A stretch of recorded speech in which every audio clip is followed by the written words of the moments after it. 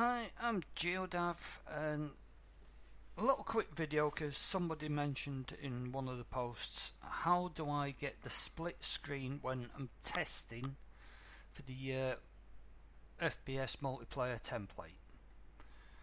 Right, let's just click on play as you've seen me do before and I get a single screen here. Okay, so we don't want that. Quit.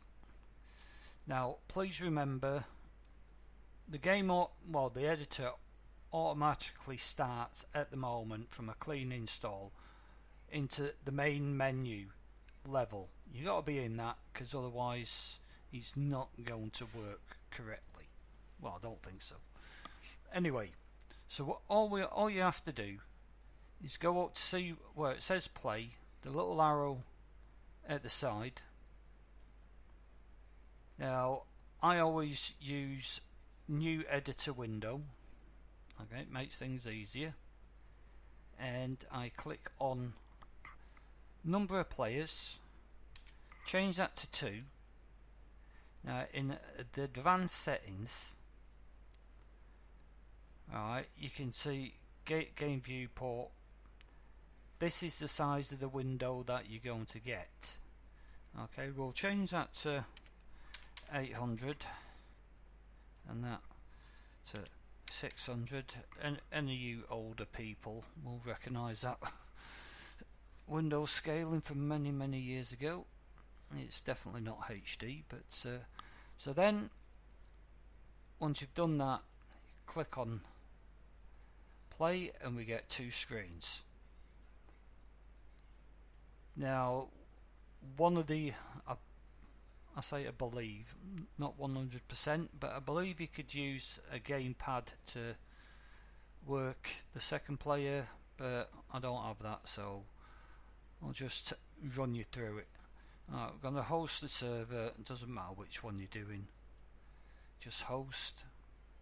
On the on the, the second one, join the server, search the game. Now I don't have Steam up and running, so that might affect it. You don't even have to play LAN because you're playing from the editor. Please remember that it's from the editor and not from a packaged version. Okay, so join server. Uh, yeah, server pitch. Yeah, right, we'll go official on that and official on that.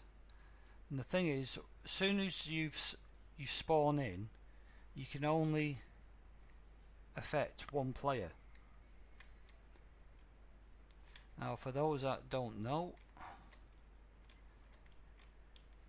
to change over to the other screen, shift F1 and then you can click on the other screen and then you can move the other player about. Now, maybe with the gamepad you could do both. Maybe it's something I'll have to try in the future, but or I suppose you could Google it if you need it. And that's it. And just press escape to close them down. And that's all it takes. Now, if you want to get really, really silly, you could go to 4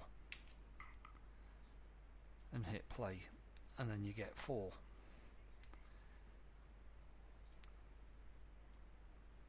So if you got four different characters and you could test them all at the same time, but uh, I don't really see. Personally, I don't see the point of that. But hey ho, if you want to do it, go for it.